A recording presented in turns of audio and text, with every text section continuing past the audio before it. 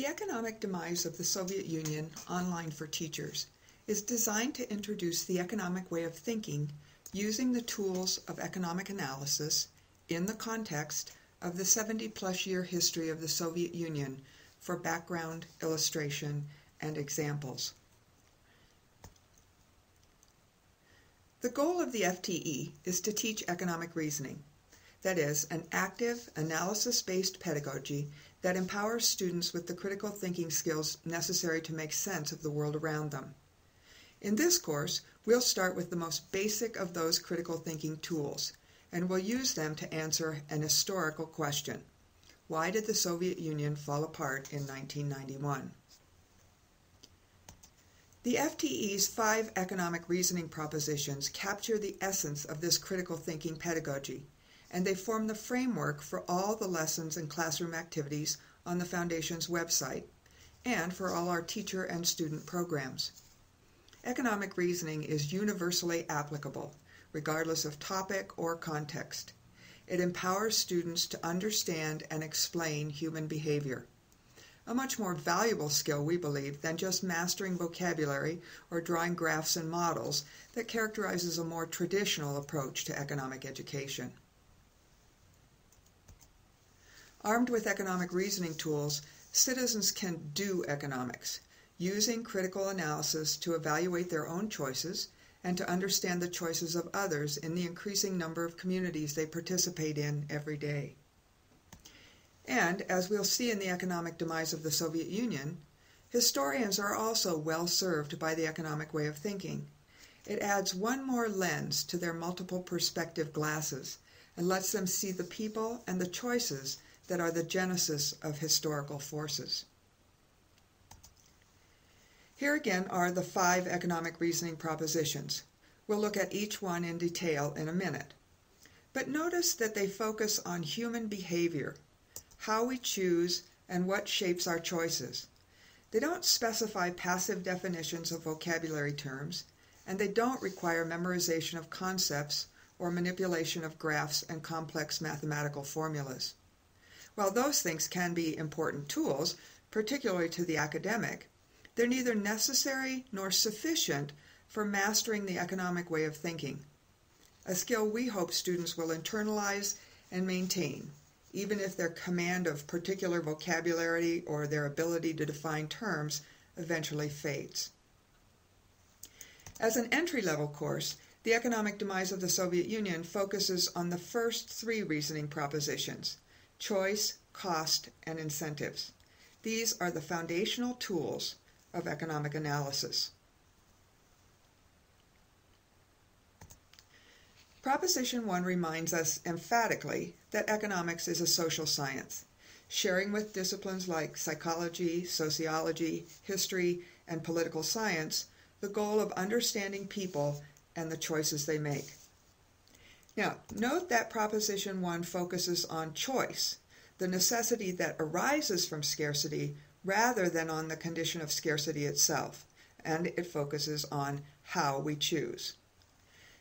The application to our current topic is that the Soviet Union didn't just happen and then 70 years later just end.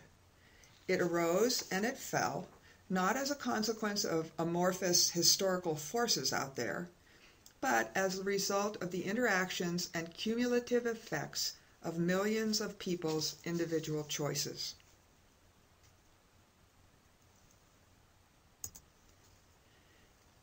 Reasoning proposition number two reminds us that there's no such thing as a free lunch, and that choices have consequences.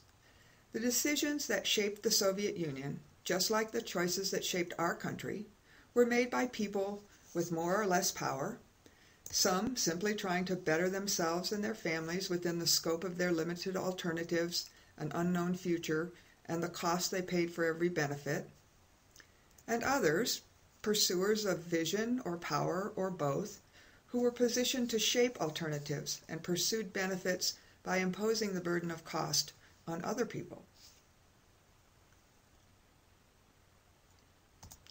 The third piece of the human decision making puzzle is incentives, the rewards and punishments that weight the cost benefit equation and encourage people to choose one alternative over another. To paraphrase economic reasoning proposition number three, incentives matter. The history of particularly the latter decades of the Soviet Union is rife with stories of behavior we find strange, from people getting into lines before asking what the line was for, to factories that continued to churn out things no one wanted and pile them up in warehouses. Economic reasoning proposition number three reminds us that before dismissing those people as somehow different from the rest of us, it might be a good idea to ask what incentives they faced. Economic reasoning propositions 4 and 5, which you see on the screen now, figure less prominently in the demise of the Soviet Union lessons, although they certainly apply. In this course, we'll prepare you for courses like Is Capitalism Good for the Poor and The Economics of Disasters that employ institutional analysis throughout. And as for economic reasoning proposition number five, We'll certainly use historical evidence to support our analysis of the fall of the Soviet Union. However, statistical and data analysis play a bigger role in Is Capitalism Good for the Poor and the Economics of Disasters than they do in the Soviet Union materials. There are six lessons in the economic demise of the Soviet Union.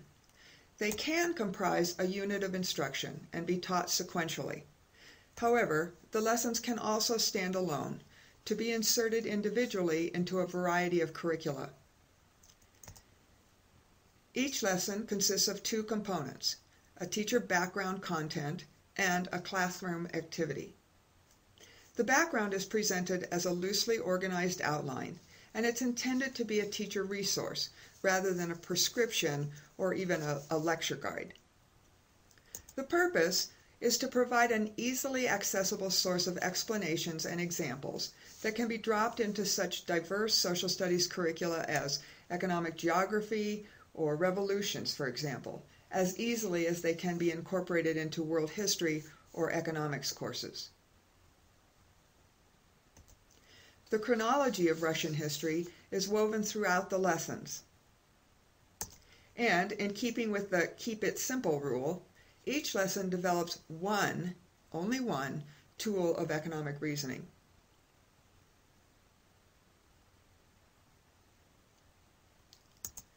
The organization of the lessons is also intended to emphasize that economics is about people, not money, not math, not graphs or equations.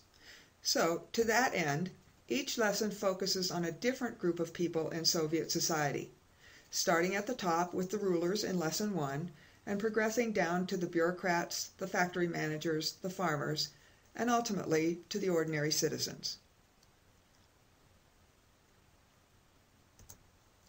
Lesson 6 is a little bit different. We might have entitled it something like, They Aren't All That Different, or We Do It Too, because it looks at places in our country where Soviet like behavior dominates, bringing home the point of economic reasoning proposition number three that incentives change behavior in predictable ways. Incentives matter to people all over the world. And we find that when the incentives are the same, the behavior is the same, regardless of where people live or the name we give their economic system.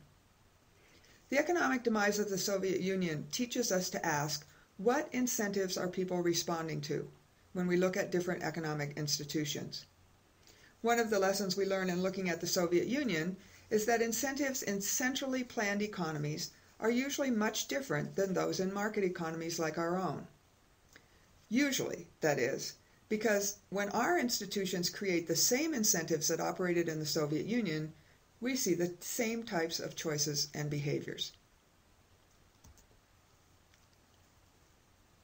I want to emphasize that focusing on an economic perspective should not diminish the importance of the historical content nor of larger historical issues and questions. For years, scholars predicted that a flawed economy and an unsustainable political structure would eventually undermine the Soviet Union. If you're as old as I am, you might have taught that yourself, or even learned it in your high school and college courses. And yet, when the Soviet Union finally did fall, there was a general sense of surprise. That was it? It's over? And despite all the predictions, it wasn't just an economic collapse. After all, the economy had been weak since the beginning, and there were no overt signs that it was appreciably more so in 1991. In fact, the head of Gorbachev's economic advisors told New Yorker editor David Remnick that she felt they had at least 10 to 15 years before the economic situation would have deteriorated to the point of collapse. So, pursuing these two questions, why 1991 and what role did the economy play, we've adopted the historian's search for multiple causes. We're struck with the importance of people's buy in to the Soviet system, and we're led to propose that the Soviet Union fell only when the people finally gave up their belief that communism would provide them better lives. Consider this analogy. Visualize the Soviet Union as resting on a three legged stool, each leg representing one of the institutional structures supporting the system. The first leg is the political legal leg, perhaps the part that we're most familiar with the totalitarian rule of man, the Politburo, the strong military, the frightening KGB. Certainly, this is the aspect of the Soviet Union that receives the most attention in our textbooks, and undeniably, it was always the strongest leg of the stool. The second, or moral cultural leg of the Soviet stool, is that elusive but essential element of support. Any system of governance requires its citizens' buy in, which, of course, can have a variety of sources, including not only a shared vision, but also, at the other end of the spectrum, a sense of fear. In the case of the Soviet Union, the moral cultural leg was a combination of belief in communism and fear of the political legal structures. The third leg of our model is the economic leg, which was certainly weak from the very beginning of the Soviet Union in 1917, a condition the communists didn't create, but one that they never managed to successfully change. The cracks in this leg persisted and got bigger over time. But note how the stool analogy suggests that we can't use the economy to explain the demise on its own. A three legged stool can continue to stand and function with weakness in one leg as long as the other two are strong. And for 70 years in the USSR, they were strong enough. Until weakness developed in another leg, the stool may have wobbled, but it stood.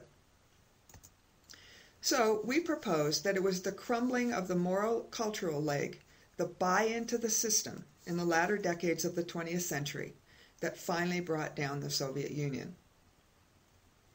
As we develop our admittedly general overview of Soviet history, we'll focus then on these two legs of the Soviet system the economy and the citizens' buy in to that system. We make no claims to be Soviet historians, and certainly many of you will know much more about the events and personalities mentioned in these lessons. But we hope that by the end of this course, you too will be struck by the interplay between the economic and moral cultural institutions in Soviet society, and by both the stubborn persistence of a seriously flawed economic system and its final, almost anticlimactic disintegration. So that ends our introduction, and let me just say welcome again to the economic demise of the Soviet Union online for teachers. Please check the introductory lessons and assignments, and we'll see you here soon for Lecture 1 on A Journey of Choices.